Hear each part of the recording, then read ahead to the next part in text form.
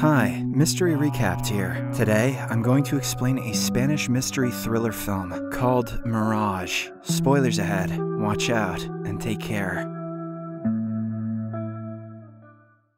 In 1989, during the fall of the Berlin Wall, a violent storm passes through Western Europe, causing frequent electrical disturbances. Though the condition is very severe, a boy from Spain named Nico Lasarte seems to be enjoying it. He is recording himself playing various tunes on his guitar, but just then, he hears some screams. On peeking through the window, Nico notices his neighbor, Angel Prieto, fighting with his wife. Scared that something bad might happen, he slowly makes his way towards their home and sneaks in through the back door. When he reaches the living room, he finds Angel's wife lying dead on the floor. This traumatizes the little boy, and he starts screaming at the top of his lungs. Unfortunately, Angel arrives there with a knife, seemingly to kill him. Terrified, Nico runs out of the house, but before he can call for help, a car strikes him. The next day, Angel is apprehended by the police on grounds of murder, while Nico is pronounced dead in the hospital. Following this, the movie skips to the year 2014, where a similar storm is passing through Europe. A couple, Vera Roy and David Ortiz, has just moved into Nico's house after getting it refurbished. They have a two-year-old daughter named Gloria. Vera is a nurse by profession, while David is a banker. The latter is often away on business trips, but he appears to love his family a lot. One evening, while the couple is clearing out the storeroom, they come across Nico's old television set and camera. They also find a collection of tapes which piques their curiosity. So, David assembles the vintage devices and finds out that they still work. Most of the tapes are Nico practicing his guitar and enjoying time with his mom. But right then, something strange happens. The TV starts broadcasting live about the fall of the Berlin Wall. This is the same news that Nico and his mom watched in 1989. The following day, the couple invites their neighbors, Aitor and his mom, Clara, for dinner. Vera explains that their television unexpectedly broadcasted some news from 1989, but of course, no one believes her. To change the topic, David talks about the boy in the videotapes, and Aitor immediately recognizes him.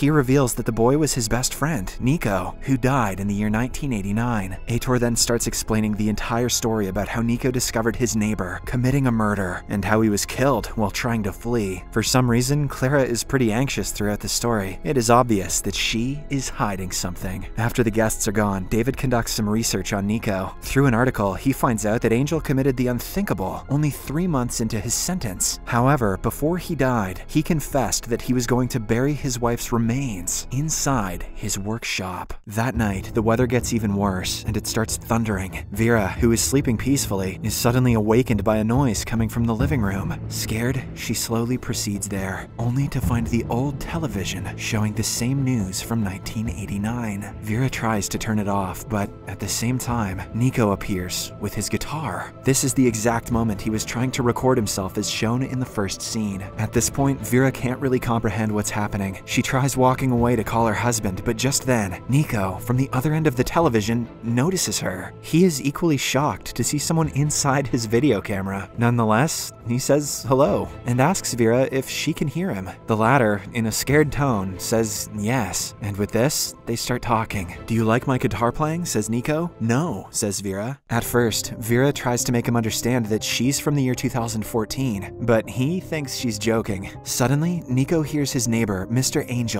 quarreling with his wife. Vera, having heard the entire story from Aitor, knows that something bad is about to happen, so she pleads with Nico to not leave the house. She even reveals that he will die if he chooses to enter Mr. Angel's home. Despite the warnings, Nico leaves his house and eventually finds out about the murder. However, since Vera delayed him for a while, he doesn't get hit by the car, and hence, his life is saved. Now he can go on to lead a tortured life of failing in the music industry. On the other hand, a confused Vera decides to forget everything and just go to sleep. She hopes that everything she witnessed was merely a nightmare. But little did she know that the strange encounter with Nico was only the beginning of something brutal. The next morning, surprisingly, she wakes up in her hospital with no recollection of how she got there. Just then, one of her colleagues approaches her and says, We are waiting for you. Thinking that she simply dozed off due to fatigue, Vera heads to the operation theater only to learn that something has changed. For some reason, the main doctor keeps acting like a nurse, and all the staff in the room address Vera as doctor. The latter tries to assert that she is simply a nurse, but everyone thinks she is joking. This makes Vera assume that she is hallucinating, so she storms out of the room to calm herself down. Shortly after, she reaches her daughter Gloria's school to pick her up. However, all the students claim that they don't have a friend by that name. Scared, she rushes to her husband David's office and tries explaining about their daughter's disappearance. But surprisingly, even he doesn't recognize her. Left with no other options, she heads to the police station and asks for help. A young officer takes her case and asks her several questions. Vera explains everything that has led to this day, including the strange TV. As expected, the officer is not convinced by her answers, and he starts doubting her sanity. He even checks Vera's records and reveals that she isn't married, and that she has no daughter. And instead of helping, he refers her to get an immediate medical checkup. Later, Vera heads to the same hospital where she works and takes an MRI scan. Fortunately, the results are normal, which indicates that her brain is functioning properly. After the checkups, she heads to her office and finds several certificates and trophies, all of which have the words Dr. Vera Roy inscribed on them. This is when Vera realizes that something awfully bad has happened. She doesn't have to look after her kids anymore. A lot of parents would sign up for this fate in a heartbeat. Wasting no time, she heads to her home and barges in through the back door. To her horror, the entire house looks different. Vera nervously searches the name Nico Lasarte on the internet. Lo and behold, she finds out that a writer has published a book in which Nico is the protagonist. The book is apparently about time travel. Vera tries learning more about it, but just then, a woman approaches her from behind. She reveals that she is the owner of the house. A little while later, her husband also arrives, who is none other than David himself. Vera is shocked to learn that the love of her life is actually married to a different woman. Suddenly, the cops arrive outside, so Vera is forced to make a run for it. The commotion also attracts some neighbors, including the murderer from 1989, Angel. He has not been apprehended in this timeline, and his new wife is revealed to be Aitor's mom, Clara. Meanwhile, back in 1989, Nico is equally confused because he met a woman from the future. Hoping to talk to her again, he sits the whole day next to the video recorder, but nothing happens. Hence, that evening, he gets up and slowly proceeds towards Angel's house to check if everything was just a dream. Unfortunately, it isn't, as he finds the woman's dead body inside the bathtub. After a while, Nico starts looking for clues inside the house. He eventually comes across a passport, which has the name of the deceased woman, but the picture of Clara. This finally makes him realize that Angel and Clara are in a relationship. Now she is planning to use his deceased wife's identity and fly to another country. If she succeeds, the murder case will never come to light. However, little Nico doesn't want that to happen. He prepares to leave with the passport, but just then, Angel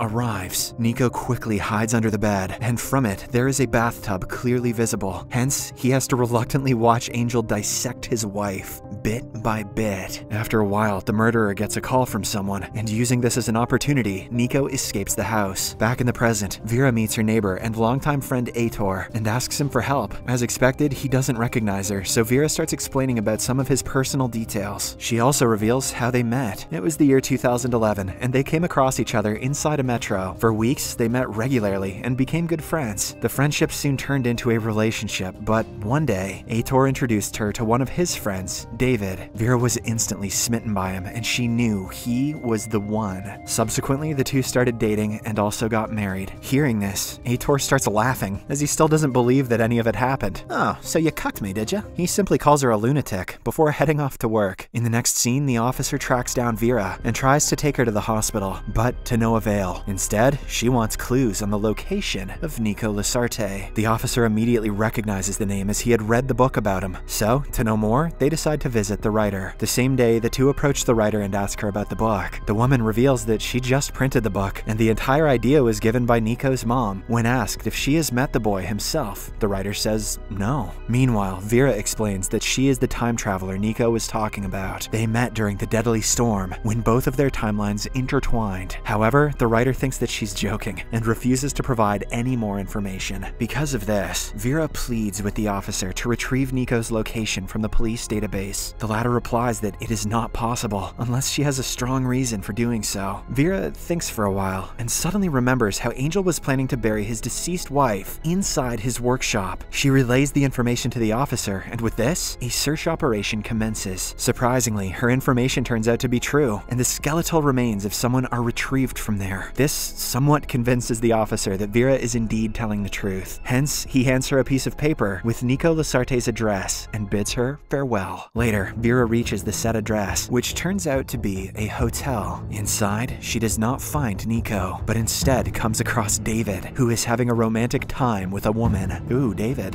he is cheating on his wife from this timeline. Vera is devastated as this means that David was cheating on her in the real timeline too. She once had found a matchstick on him, which belongs to this hotel. Ah, once a David, always a David, you know what I'm saying? Keeping all her emotions aside, Vera decides to take action. Since David is a banker, he probably has details on a lot of people, including Nico. Hence, she blackmails him into finding the information, or else she will expose him to his wife, just like he exposed himself to his lover.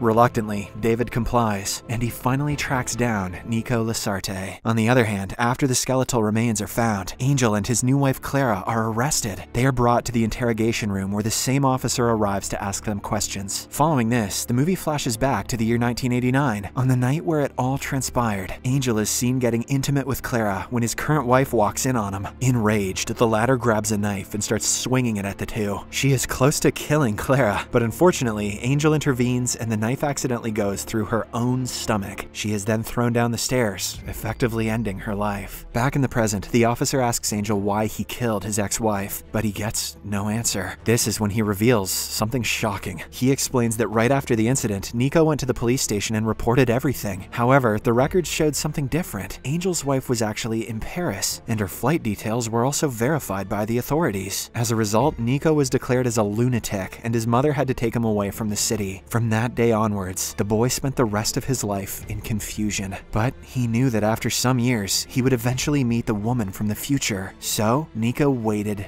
and waited. We are then shown a time lapse of him growing up. Real happy 80s stuff. 22 years pass by, and an adult Nico is finally revealed to be none other than the officer. One day, he finally saw her inside a metro and approached her. Meanwhile, Vera goes to Nico's address and finally finds him. She is shocked to learn that he is the same officer she has been in contact with. At this point, the storm has again resurfaced. Nico reveals that he wanted to tell her everything, but couldn't, as her mind was already confused and fragile. So, bit by bit, he gave her clues, which finally led her to him. Nico then explains that after he approached her at the metro station, they became good friends. Then they got close to one another and eventually started dating. At last, they also got married and started living a happy life. I guess she did like his child guitar playing after all. Nico always wanted to ask her about that stormy night when they met, but he didn't want to jeopardize their relationship. Hence, he concealed the truth to himself. Hearing all this, Vera is brought to tears, but she still does not want to live in this timeline. She is ready to do anything to meet her daughter again. Following this, we finally get to know how the timelines were altered. In the original 2014 timeline, when Vera saw 1989 Nico and saved him from his impending death, it started a chain reaction. Since Nico never died, he became obsessed with finding the time traveler. After 22 long years, he finally met her and started a romantic affair with her. Because of this, Vera never met Aitor or his friend David. This means that she never got married or had a daughter. As everything flashes right before her eyes, Vera begs Nico to help her get to his timeline, but the latter doesn't want to let her go. So, with no options left, she commits the unthinkable. Now, to bring her back, Nico is forced to take action. Wasting no time, he breaks into his former house and brings out the television and video camera. As the storm continues brewing, Nico connects the device and finds his 1989 self on the other end. He then tells the boy everything and asks for his help. In the next scene, Vera wakes up in her house, disoriented and confused. However, when she turns out, she is relieved to find David beside her. She then rushes to the other room and finally reunites with her daughter. It turns out Nico sorted everything out in the other timeline. He knew that the love of his life would never return, but the most important thing to him was her happiness. The movie ends as Vera again discloses the location where Angel hid his ex-wife's remains. As the police check the area, Vera comes across Nico. Surprisingly, he doesn't recognize her anymore.